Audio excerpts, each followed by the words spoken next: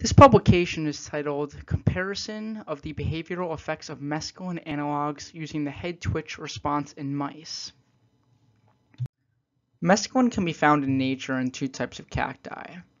These are the peyote buttons, which contain 1 to 3% mescaline by weight on the left, and San Pedro cactus on the right, which contain much less mescaline, 0.21 to 1.8%. The structure of mescaline is quite simple. It is a substituted benzene ring in which it has methoxy groups coming off of the 3, 4, and 5 position, followed by a 2-carbon chain where it has an amine coming off of it. Some of the background of this publication comes from work done by Alexander Shulgin. Alexander Shulgin is an American chemist and pharmacologist who synthesized and ate many drugs that he made. He wrote a famous book called PiHKAL. If you haven't read it, I highly recommend it. It is an amazing read. Here were some of his discoveries in the book. The compound in the upper left-hand corner is mescaline, what the focus of this publication is about. Its active dose in human beings is 178 to 356 milligrams. As we can see, the compound to the right of mescaline is called TMA. This has an active dose in human beings of 100 to 250 milligrams, indicating that it is more potent because less of the drug is going to produce a psychedelic effect in human beings. Structurally, these compounds are very similar except for one thing. There is a methyl group in TMA, one position away from the amine that mescaline does not have. So it is this methyl group that is causing the potency of the drug to increase. If we then look at TMA versus TMA2, the compound to the right of TMA, this has an active dose in human beings of 20 to 40 milligrams. The structural reason for this is that the methoxy in the third position has been moved to the second position. And thus, moving the third methoxy to the second position increases the potency of the drug. If we now look at what happens going down, we see something quite interesting also. Going down from mescaline to escaline, the potency of the drug drastically increases as only 40 to 60 milligrams of escaline produce psychedelic effects. From a structural standpoint, mescaline and escaline are very similar except for one change in chemistry. It's that instead of a methoxy coming off of the fourth position, there is an ethoxy coming off of the fourth position, and this drastically increases the potency. If we then go down to proscaline, the potency of the drug increases by a little bit as it only takes 30 to 60 milligrams to produce psychedelic effects. Structurally, escaline and proscaline are very similar. The only difference is that in the fourth position, they have elongated the carbon chain coming off of the ethoxy group to make it a propoxy group, a three carbon chain. And thus we can say that one carbon addition to the fourth methoxy position also increases the potency of the drug.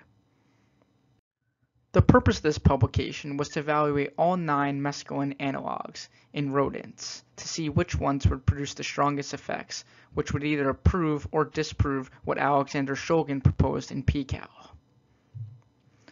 Rodent behavioral models are routinely used to evaluate the structure-activity relationship of psychedelic drugs but there is little to no investigation of mescaline analogs.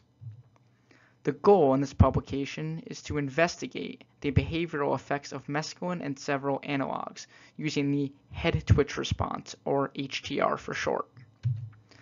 Serotonergic psychedelics induce the HTR, a brief paroxysmal head rotation in rats and mice via activation of the 5-HT2A receptor.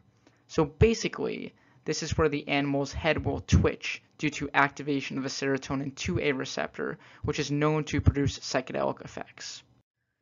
Let's look at the first findings of the publication that the researchers saw.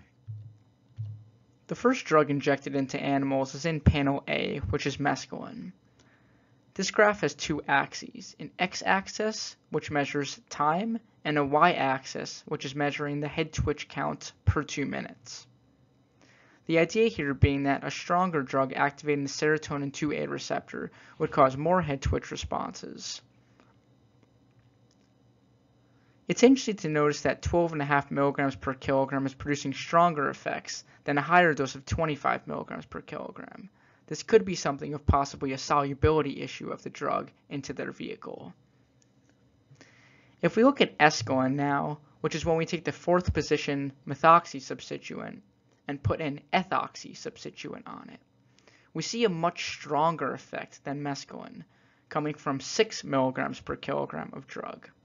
This is producing much stronger head twitch counts at a time point of 30 minutes and before. And remember, Shulgin kind of had this idea when he said elongating that chain made the drug more potent by his findings in PCAL. As we elongate the chain even further on proscaline, we see similar effects. Elongating it from an ethoxy to a propoxy actually doesn't increase the potency of the drug too much. The next finding in this publication comes from the researchers injecting the drug TMA into the rodents. We can see that at 12 milligrams per kilogram, the drug is producing the strongest effects because it is having the most head twitch counts.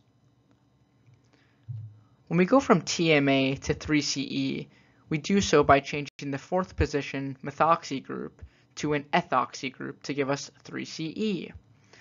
We see the effect of this drug has much stronger effects as the head twitch counts have gone up by a decent factor. When we elongate that chain even further, changing it from an ethoxy to a propoxy group in 3CP, the effect of the drug actually drops off and is quite similar to that of TMA. This would suggest that elongating the chain from methoxy to ethoxy does increase the potency of the drug. But as you increase the chain length to a propoxy group, the effect doesn't increase. In the last series of experiments in this publication, the researchers have taken the drug TMA2 and its analogs and injected it into the animals. Let's revisit the idea that TMA differs from mescaline in that it has a methoxy group in the second position instead of the third position and we see the effect of the drug is pretty strong. Initially, it has a pretty high head twitch response initially, much higher than that of mescaline. When we go from that fourth position of methoxy group to an ethoxy group in the fourth position, we get the compound MEM. And we see the activity of the drug actually drops off just a little bit, indicating that this substitution does not make the drug more potent. When we elongate that chain even further, changing it from an ethoxy to a propoxy group, we see the effect of the drug drop off rapidly, indicating that having a methoxy group in the second position while elongating the fourth position methoxy to an ethoxy to a propoxy actually decreases the potency of the drug. The researchers of this publication have decided to present their data in a large table listing the compounds, a one-way ANOVA, which tells us whether or not the data is statistically relevant, the time duration, the dose in milligrams per kilogram, the N value, which indicates how many animals were tested at each dose, the head twitch counts mean, plus or minus the standard error of the mean, which indicates how many head twitch counts were occurring at the time point of 30 minutes. Then we get to something called an ED50. This tells us the dose that is producing half the maximal response of the drug at 30 minutes. This is listed in milligrams per kilogram. They've also decided to express it in the furthest right hand column in terms of micromoles per kilogram. It can be confusing to look at data in this manner, so in the next slide we'll talk about how do we interpret the data.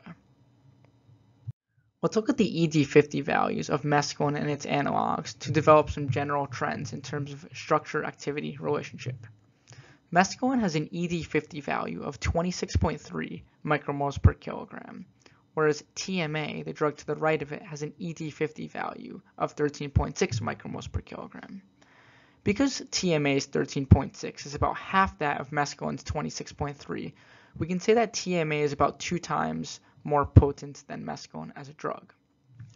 Structurally, all we've done going from mescaline to TMA, as we talked about before, is putting a methyl group one carbon away from the amine. Thus, from a structural activity relationship, we can make the following statement. Methyl addition to one carbon away from the amine increases the potency.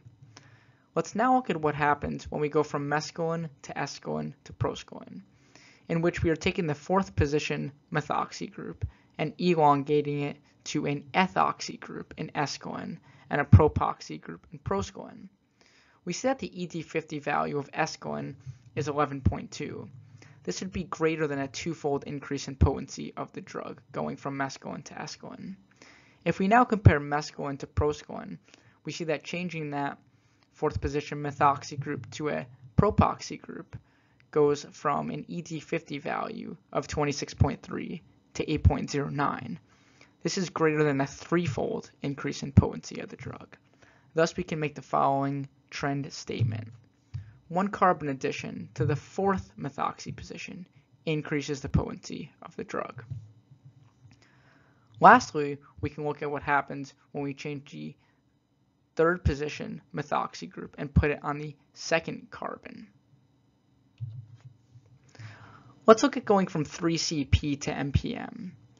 We see that moving the third methoxy position to the second position decreases the potency.